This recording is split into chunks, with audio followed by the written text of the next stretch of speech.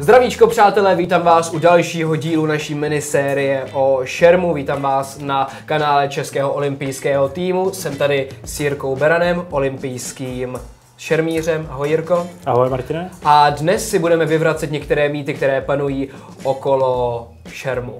Mezi které patří například, že to je sport značně nebezpečný. Je to pravda? Není to tak. Je to jeden z nejbezpečnějších sportů, protože máme na sobě takový oblečení, který se, ze kterého se vyrábí třeba neprůstřelné vesty. Jsou to speciální tkaniny, které jsou jako lehký, takže tady není vůbec o čem.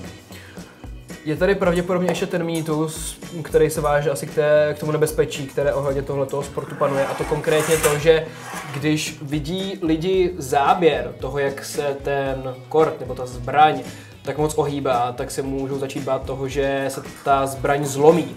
Zbraň se láme. Třeba prostě ty nejlepší zbraně vydrží nějakých 20 eh, tisíc bodnutí, ale prostě jednou praskne, tak bude se muset zase vyměnit.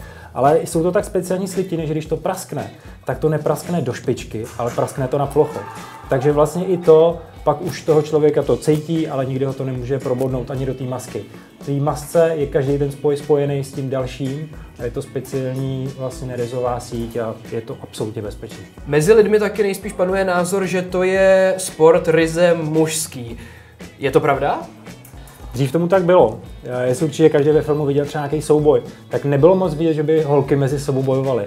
Ale už od nějakých 30. let je to součástí olympijských her ženský šerm. A do dneska se šermuje, je to absolutně jako vyrovnaný a super rychlej sport i v ženském provedení. Hele, a není šerm nuda? Ale v žádném případě. Je to spojení fyzické a psychické síly do jednoho. Musíme vědět, co dělají nohy, hlava, ruce, všechno odděleně. A to v takové rychlosti, který vlastně třeba na olympiádě jsme jako druhý nejrychlejší sport hned za střelbou. Takže je to doopravdy velká rychlost a velká intuice a všechno musíme mít perfektně natrénovaný. Všiml jsem si, že jste napojený na elektriku.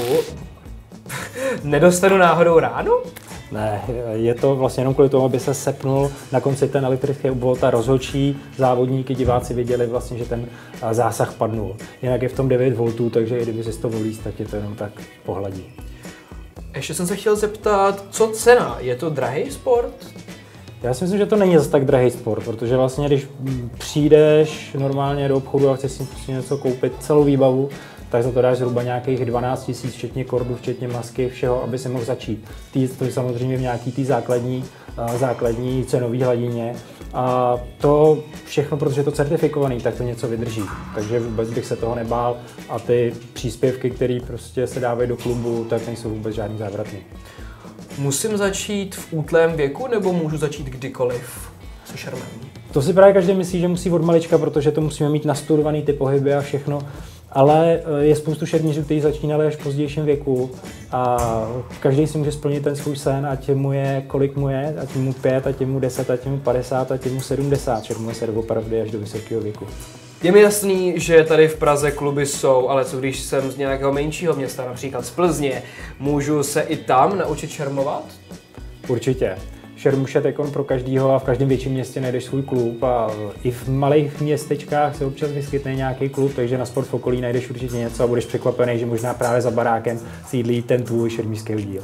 Já ti, Jirko, hrozně moc děkuju a pokud byste si i vy chtěli šerm vyzkoušet, což vězte velmi doporučuju, protože se na tom člověk fakt vyblbne, tak zkuste se podívat na stránky checkfencing.cz a nebo na sportvokolí.cz a Zkuste to, protože si myslím, že každý si na tomto sportu najde to svoje. Já vám hrozně moc děkuji, že jste se koukali a zatím ahoj.